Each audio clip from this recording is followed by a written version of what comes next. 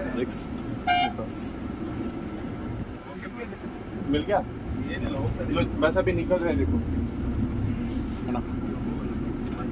है ना?